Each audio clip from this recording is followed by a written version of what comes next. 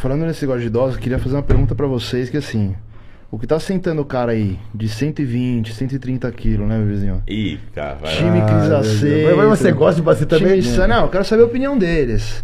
Falando que estão tomando 200 mg. Ah, mas o Ada fazendo- também já foi convertido. O Ada veio aqui outro dia e falou que 300mg não é low dose. É, Ah, eu fiquei decepcionado é, no último eu podcast. O Adam que falou que dava Ada pra ficar com o tamanho do William com um grama na semana. Ele Oi? falou isso. Hein? Com o tempo. Você falou que com o tempo Não, dava.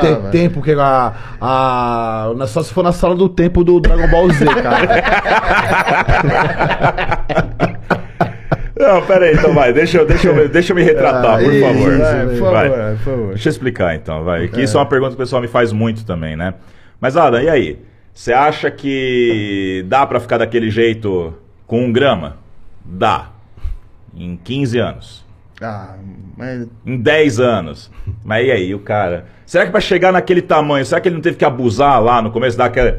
é, fazer o dragster que a gente tava falando agora? É, mas assim, ó, eu já vi muito cara grande com quatro dura por semana. Só quatro Grande. durinhos. Só quatro durinhos. Pô, quatro dura é um grama. É um grama. mas só Já- isso, já mais. Só. Ah, só isso. mais só isso. 24 de GH, não, não, mas não. Só. Só com dura. Já vi muito. Muito. O que é cara grande? Que é não, mas não é um competidor de 120 quilos, caralho. Não, mas 110.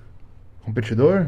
Não competidor, mas cara Não, grande. Estamos falando de atleta de, Não, de palco, né? Estão Cara- falando de Open. Ah, quer saber Fio, de. É, que é não, que mas eu- é que assim. Que cara grande é muito subjetivo. Ah, Pô, o cara é grande. Beleza, o cara. Às vezes a rolição, né? É, mano? então. às vezes O cara já nasceu com a estrutura. Não, mas é porque daí se a gente for falar de campeonato, é, a gente vai falar de droga que é menos anabólica.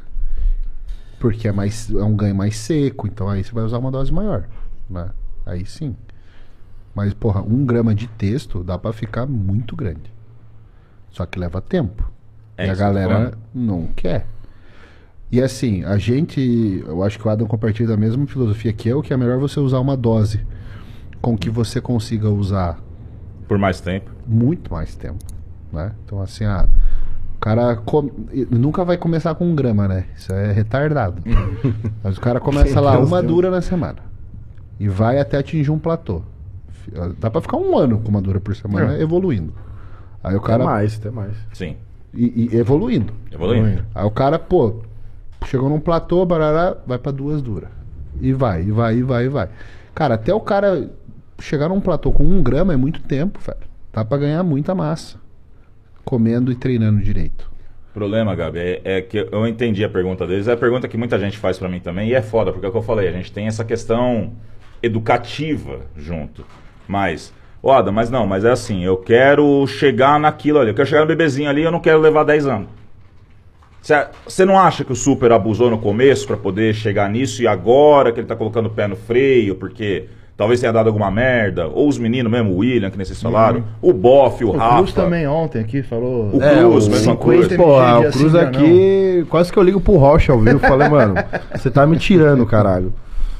Exato, tipo, será que não teve que dar esse sprint no começo pra depois poder colocar o pé?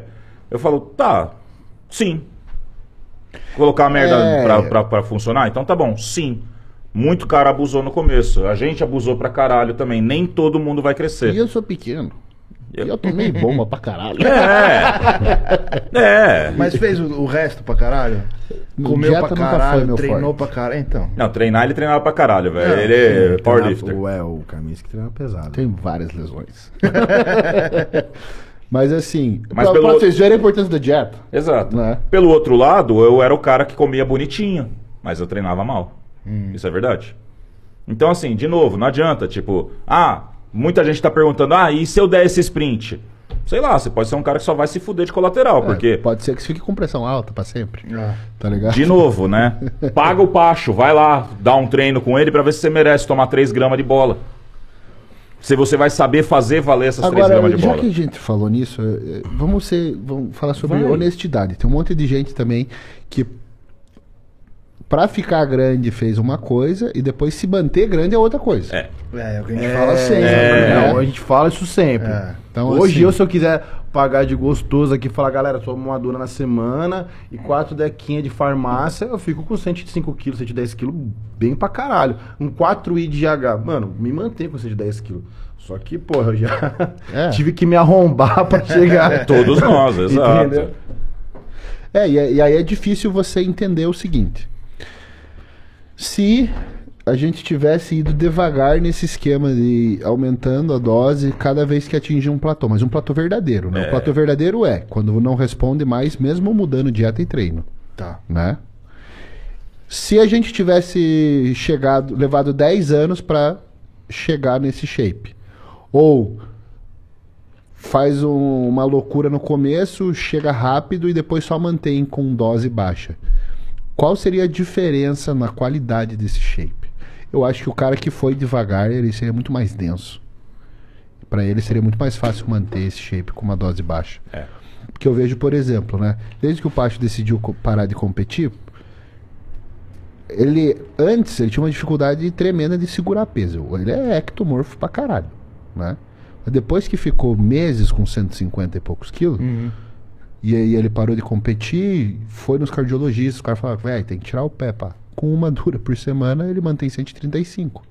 Sem dificuldade, né? Mas teve esse período de consolidar, né? De, ah, isso aqui é meu. sim. Fase de consolidação, que é uma coisa que a gente bate na tecla. É porque a galera muda de off pra cutting, assim. Exato. Aí o cara tá comendo 4 mil calorias, corta pra 1.500. Fala, velho, jogou fora meses, tá ligado? Meses. Sério? Lógico. Sim. Aquela massa não é, porque- não é tua. É, o pessoal me critica até, porra, você tem que secar que sei lá o quê pra consolidar. Cara, eu tô aqui na minha, só crescendo. Você tá boa. consolidado pra caralho, velho. Eu te vi aqui há dois meses atrás, mano. Você tá totalmente diferente. Então, Que mané tem que. Não, você tem que secar pra consolidar, vai tomar no cu. não, que você tem que chegar a tantos por cento de BF, mano, tô de boa. Mano, eu tô com o meu dipômetro aqui, velho. Eu tiro o teu percentual agora. Não, não dá ideia. Eu tô, tô- Daqui a um mês a gente faz, a gente brinca. Acha? É, mas é bem isso, porque quando você quando você acabou de ganhar, não é teu. Não é? Aquilo ali tá sustentado por droga. Quanto tempo tem que manter ali pra falar que, porra, ganhei aquilo? Ah, então vamos inventar a regra agora. É, não, Não. Na sua experiência, o que você viu, que Ó, você vivenciou. Três meses Três de meses. estabilização. E aí você pode fazer um cut e o cara vai ficar, vai se preservar. Agora, mudou semanas. cutting, cara,